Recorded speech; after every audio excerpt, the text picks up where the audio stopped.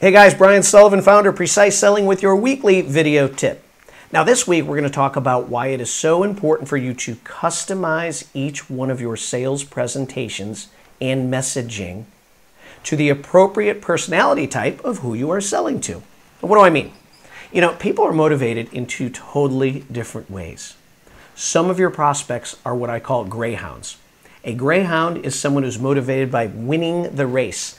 They want to be the best. They want to be the most efficient. They want to stand out, which means they will partner with companies who will make them better. But then on the other side, we have the pit bull. The pit bull is someone totally motivated by fear. They normally hate change, but they're afraid of risk. They're, um, they, they, they're losing a lot of time. They're not really efficient. They're, they have a lot of liability. So understand that what's motivating someone who's motivated by fear is different messaging than someone who's motivated by value or being better. Now you're saying, all right, Sally, how do I know if someone's a greyhound or a pit bull? Here's what we do.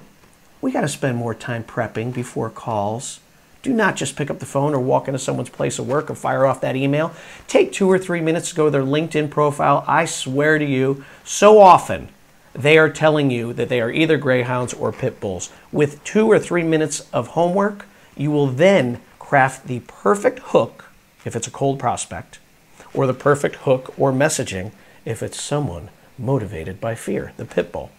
So, your homework this week I want you to grab a pen and paper, and I want you to make two columns. Think of one product that you love to sell from your company.